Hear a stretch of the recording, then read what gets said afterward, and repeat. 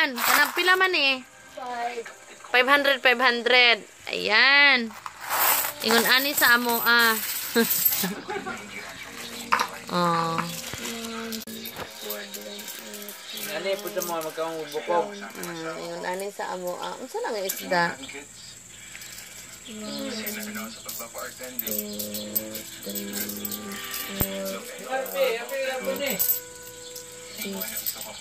Seven, eight, nine.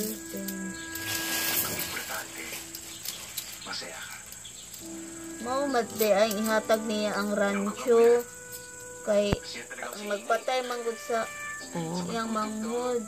Habang nagbibilang ng barya, guys, nag-aano ng ano,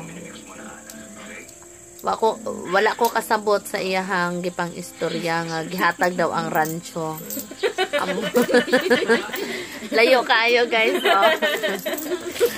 ang layo.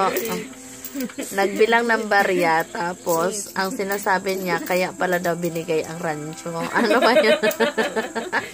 Anong kinalaman sa rancho dito sa TV ba? Oh, dito din ang isa. Dito. Ito, ayan. Yan. Oh, dami to guys. Oh, dami. Oh. Pera din to guys. Mm. ano na, 400. O, oh, ayan. Bawat ano kasi guys, 500, 500. So, hulaan nyo to guys kung, kung magkano to lahat.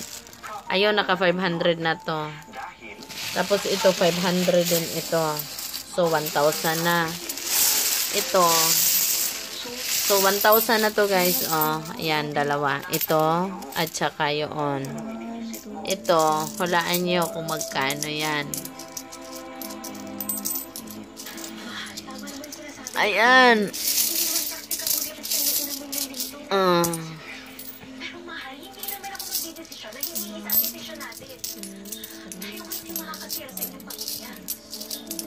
Ano, ilang, ilang ano to?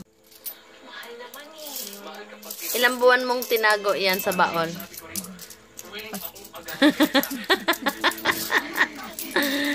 guys, hindi to alkansya guys ha. Baka akala nyo alkansya yan. Parang alkansya. Taglilima at tagsa sampo. Parang alkansya no? Mura, mura og gihimo ni mo alkansya. Dili man siya alkansya. Yan. Sige guys, hanggang dyan lang guys. I-comment ninyo kung magkano. Sa tingin nyo magkano.